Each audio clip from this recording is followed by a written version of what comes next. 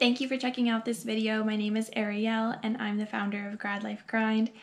I am covering what is a dissertation committee today. That's an important question that you may have if you're a current or future graduate student. I know that I personally just asked my dissertation advisor a few weeks ago not just what's a dissertation committee, but what does each person do? And I'm really glad that you've checked out this video. I hope that you'll tune into the other videos that I have in my dissertation series. And I also hope that you'll subscribe to my channel so that you can stay up to date, not just on my dissertation journey, but also on all other things grad school related. And I have a ton of grad school application resources if you are someone who's applying.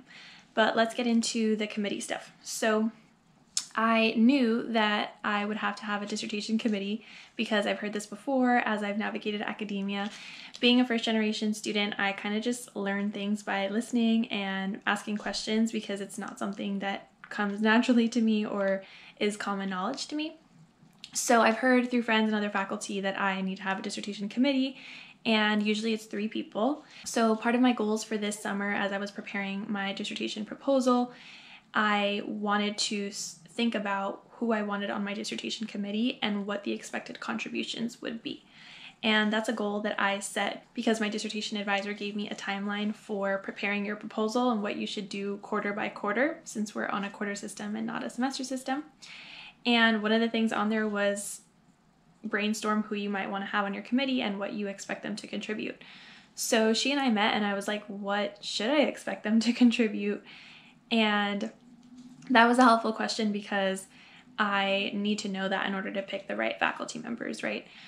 So it turns out that a dissertation committee consists of faculty members who are going to help you along your dissertation process, and what they do really depends. So typically, the, the people that you have on your committee include your advisor, so the person whose lab that you work in, and two to three other faculty members who have some sort of expertise in what you're doing, and that may vary. So I'm interested in domestic violence within the Latinx community, and I'm really passionate about working with Latinx women, especially mothers who have been exposed to intimate partner violence or domestic violence. My advisor has expertise in maternal mental health, and she focuses on pregnancy and postpartum depression and things like that. So our overlap is that she works a lot with Latinx women, she works with mothers. So that's kind of how I ended up wanting to work with her so she's definitely going to be on my dissertation committee. Um, she'll probably be my dissertation chair because she's my advisor. And she'll be the one who's doing the bulk of the editing and working through the ideas of my dissertation with me.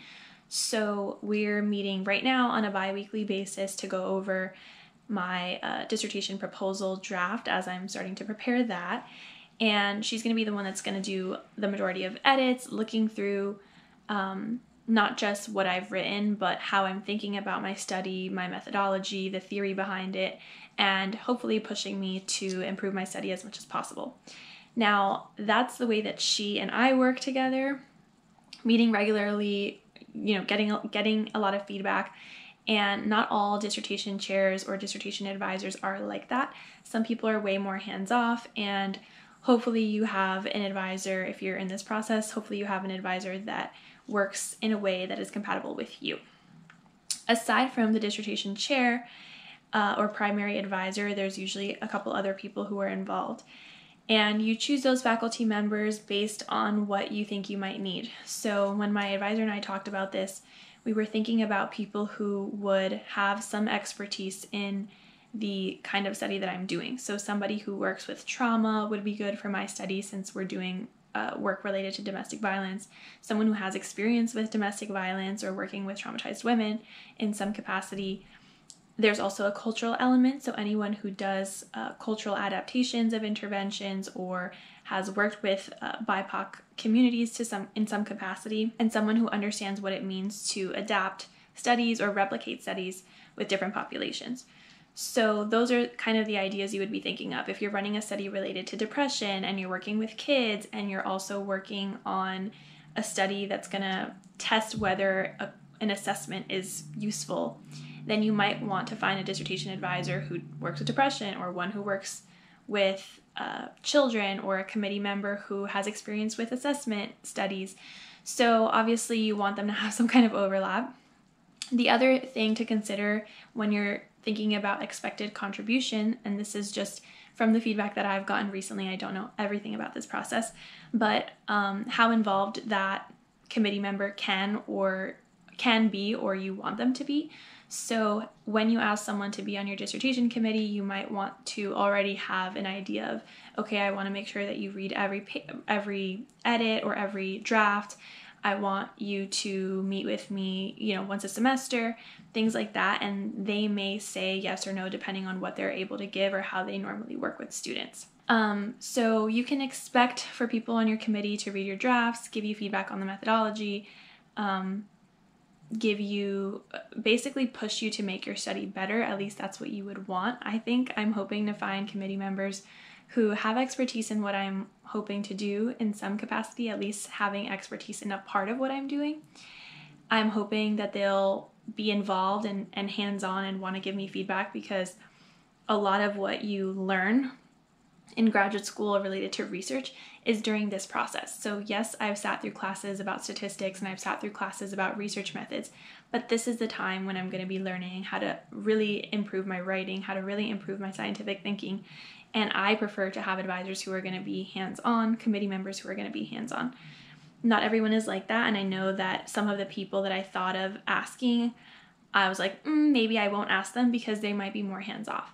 And it really just depends on what suits you so, committee members are really there to give you feedback, to give um, advice, or to push you in your thinking and to help with your writing, things like that. And I think that each committee member probably contributes something special and unique. It's kind of like recommendation letters. So, I do a lot of content about grad school applications, and one of the things that I think is really important is that you have writers for your recommendations who are going to contribute something unique to your profile as an applicant. And I think that I'm going with the same line of thinking for my committee.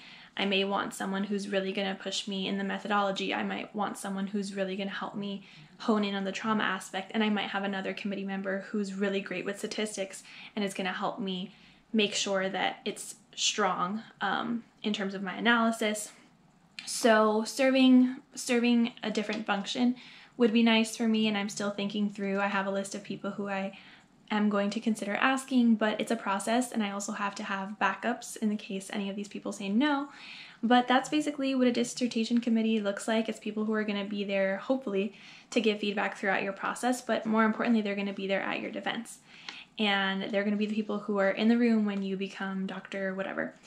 So that's super exciting. I'm not the expert on this, so if you know more about this topic, if you've already written a dissertation and you're watching this video, let me know in the comments if there's more information that I didn't include here. I don't know everything because this channel is really about sharing what I learn as I'm learning it and putting information out there that I wish I would have had in the past or further along in my journey.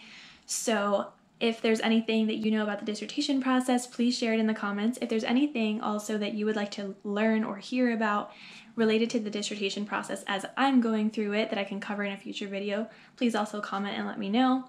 In order to stay up to date with my dissertation process, please be sure to subscribe to my channel and also connect with me on other platforms. I'm on Instagram, on TikTok, I have a blog, I have a store where you can buy Grad Life Grind merch. I spend a lot of time making sure that I can provide mostly free content to you so that I can help you along your grad school journey, whether you're applying or you hope to apply in the future to graduate school or you're already a graduate student. I aim to help you as much as I can and also document my experience. So thank you so much for watching this video. I hope you'll be back soon. Take care.